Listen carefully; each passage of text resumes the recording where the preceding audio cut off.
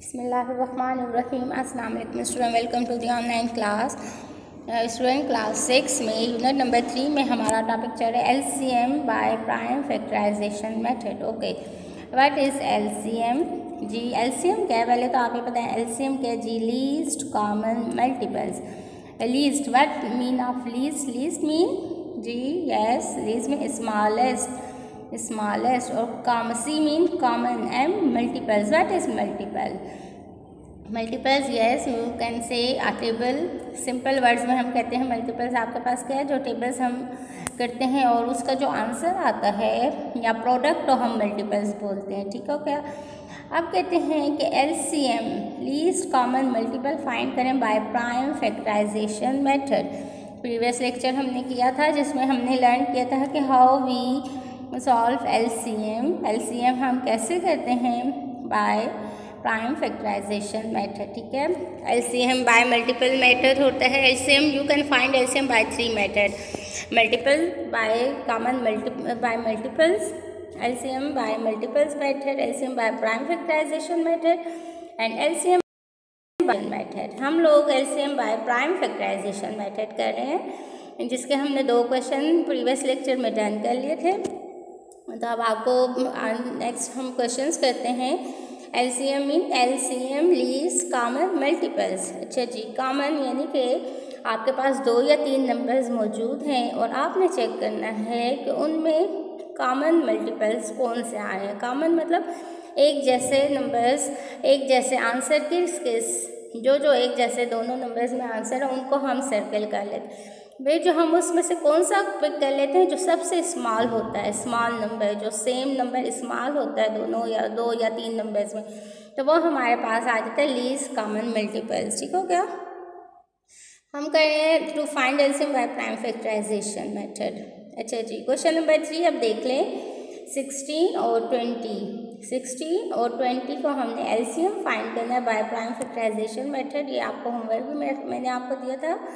अच्छा जी सिक्सटीन और ट्वेंटी प्राइम फैक्टर्स आपने फाइंड कर लिए किसे किसे? देखिए ये सिक्सटीन है सिक्सटीन आता है टू के टेबल में yes two eight are sixteen eight आता है टू के टेबल में yes two four are eight four then two two are four two one are two और दूसरी बात ये कि आपने डिविजिबिलिटी रूल्स पढ़े हैं। ये तमाम नंबर्स टू पे क्यों डिवाइड हो रहे हैं? क्योंकि यूनिट प्लेस पे इवन नंबर आ रहे हैं। ओके अब ट्वेंटी को चेक कर लेते हैं। यूनिट प्लेस पे ज़ीरो ऐसे हमने टू से स्टार्ट किया। टू ट्वेंटी टू के टेबल में आता है। Yes two ten are twenty आप इससे भी कर सकते हैं। आप सेपरेट नंबर्स की टेबल भी पा सकते हैं। अब टू है। तो टू कहाँ आता है टू वन सा टू और ये ज़ीरो तो ज़ीरो को आप ऐसे ही लिख लेंगे। ओके अब टेन टू के टेबल में टेन आता है। Yes two five are ten then five is not common table of two फिर थ्री पे भी नहीं आता। नेक्स्ट प्राइम नंबर कौन सा? फाइव तो हमने फाइव ले लिया। Five one are five prime factors of sixteen अच्छा जी, अब आपके पास देखें प्राइम फैक्टर ऑफ़ सिक्सटीन क्या आ गए students yes two multiply by two multiply by two multiply by two prime factors of twenty क्या आ गए? Two multiply by two multiply by five ठीक है। अब देखें जो हमारे पास दोनों में कॉमन है कॉमन फैक्टर्स कौन से? ये देखें सिक्सटीन में भी टू आ रहा है ट्वेंटी में भी टू आ रहा है। अगेन सिक्सटीन में भी टू आ रहा है और ट्वेंटी में भी टू आ अब एलसीएम आपके पास क्या है? बाय प्राइम फैक्टराइजेशन में एलसीएम है आपके पास product of common and non common factors यानी कि जो कॉमन है वो भी ले लें और जो नॉन कॉमन है वो भी ले लें। अब जो कॉमन फैक्टर्स हैं, उनको हम एक दफ़ा लिख लेते हैं। यानी कि ये टू टू टाइम है, लेकिन हमने इसको एक दफ़ा लिख लिया। नेक्स्ट टू भी टू टाइम है, लेकिन हमने इसको एक दफ़ा लिख लिया। अब नन कॉमन फैक्टर में आपके पास ये टू टू एंड फाइव उसको भी हमने लिख लिया। कंबाइन हम इसके मल्टीप्लिकेशन कर लेते हैं। Two two are four two two are four and five four four are sixteen sixteen five are eighty so L C M least common multiple क्या आ गया? एटी आप सिक्सटीन का टेबल लिख लें और ट्वेंटी का टेबल ठीक हो गया? तो उसमें जो आपके पास जो स्मॉलेस्ट मल्टीपल होगा वो एटी आएगा, ठीक है? ये हो गया आपका क्वेश्चन नंबर थ्री और सेकंड थिंग स्टूडेंट्स कि आपने डिफरेंस के एलसीएम और एचसीएफ पे, देखिए एचसीएफ जब आप फाइंड करते हैं ना, सिर्फ़ प्रोडक्ट ऑफ़ कॉमन फैक्टर्स ले लेते हैं, जबकि एलसीएम में आप प्रोडक्ट ऑफ़ कॉमन और नॉन कॉमन दोनों ले लेते हैं, ठीक हो गया? तो इस बात का आपने ख्याल रखना है क्वेश्चंस करते हुए। ओके अब फोर क्वेश्चन में आपके पास थ्री नंबर्स आ गए। अब थ्री नंबर्स आपने एलसीएम तीन नंबर्स का एलसीएम फाइंड करना है। वही प्राइम फैक्टराइजेशन प्राइम फैक्टर्स निकाल लेते हैं एट के। Two four are eight two two are four two one are two twelve का prime factor two six are twelve two three are six three one are three ten two are twenty five two are ten and five one are five अब prime factor आपके पास आ गए two के two multiply by two multiply by two prime factors twelve के आ गए two multiply by two multiply by three prime factors आ गए ट्वेंटी के two multiply by two multiply by five अच्छा जी, देखिए अब कॉमन फैक्टर्स इसमें कौन से ये टू जो है, तीनों में आ रहा है कॉमन तो हमने इसको एक दफ़ा लिख लिया। यहाँ पे भी टू आ रहा है, हमने इसको लिख नॉन कॉमन फैक्टर्स आपके पास कौन से two three five non common mean के उनके कोई पेयर्स नहीं है, वो अकेले हैं, ठीक हो गया? तो अब हमने क्या करना है? LCM is product of common factor and non common factor अब इन नंबर्स को हम जब मल्टीप्लाई कर लेते हैं two multiply by two multiply by two multiply by three multiply by five तमाम नंबर्स लिख लेते हैं। जब हमने इसको मल्टीप्लाई किया तो उसको सॉल्व किया तो इसका आंसर आ गया वन ट्वेंटी यानी कि जब आप इस नंबर्स के टेबल्स को आप लिखेंगे अप टू टेन या ट्वेंटी ट्वेल्व का भी टेबल ट्वेंटी का भी टेबल्स फिर आप उसमें सेम नंबर्स को सेम मल्टीपल्स को चेक कर लेंगे।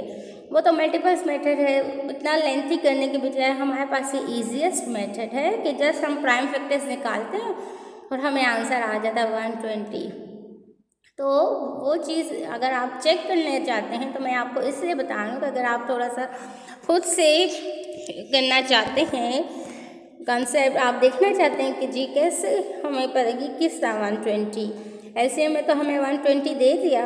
अगर आप चेक करना चाहते हैं, जी ये ठीक है, आप क्या कर लें एट का टेबल लिख लें ट्वेल्व का टेबल लिख लें और ट्वेंटी का टेबल लिख लें। आप टू टेन तक लिख लें या सिक्सटी फिफ्टी ट्वेंटी तक लिख लें फिफ्टीन तक लिख लें। अब उन तीनों में एक कॉमन नंबर जो होंगे कॉमन मल्टीपल्स यानी कि इन तीनों के आंसर्स आ जाएँगे ना, आपके पास इन तीनों के टेबल्स के जो आंसर्स आएँगे, उनमें जो सेम सेम होंगे, उनको आप सर्कल कर लेंगे तीनों में जो सेम होंगे, और जो स्मॉलेस्ट होगा, वो कौन सा होगा? वो वन ट्वेंटी ही होगा। ठीक हो गया? अब नेक्स्ट आपके पास क्या है? क्वेश्चन नंबर फाइव वो भी सेम है, जैसे क्वेश्चन नंबर फोर था। आपके पास थ्री नंबर्स हैं बाय प्राइम फैक्टराइजेशन करना है। ओके एटीन टू के टेबल में आता है two nine are eighteen nine है टू के टेबल में नहीं आता नेक्स्ट थ्री ले लिया three three are nine ten three one are three thirty two fifteen are thirteen three five are fifteen five one are five okay two two are four two one are two three seven are twenty one seven one are seven two multiply by three multiply by three two multiply by three multiply by five ये prime factors लिख लिए तीनों के two multiply by three multiply by seven अब common factors कौन से हैं? देखिए टू तीनों में आ रहा है, हमने उसको लिख लिया। देन थ्री तीनों में आ रहा है हमने। अब नॉन कॉमन फैक्टर्स यानी कि थ्री फाइव सेवन जो रिमेनिंग रह गए हैं L C M is product of common factor and non common factors यानी कि इन दोनों को ये फैक्टर्स को ये दोनों फैक्टर्स हमने मल्टीप्लाई कर लिए। कॉमन और नॉन कॉमन तो हमारे पास आंसर आ गया सिक्स थर्टी ठीक हो गया स्टूडेंट तो ये आपके पास हो गया common L C M by prime factorisation method ठीक हो गया? आज के लेक्चर में हमने डन कर लिया कि ये कंप्लीट कर लिया कि how we find L C M by prime factorisation method आपने क्या करने हैं? प्राइम फैक्टर्स निकालने हैं। उनमें से कॉमन फैक्टर्स ले लेने हैं। फिर कॉमन फैक्टर्स और नॉन कॉमन फैक्टर दोनों को मल्टीप्लाई करके जो आंसर आ जाएगा वो आपके पास आ जाएगा। एलसीएम ठीक है? Least common multiple okay students तो ये फाइव क्वेश्चंस हैं आपके। इन फाइव क्वेश्चन को आपने अपनी नीट कॉपी में डन कर लेना है।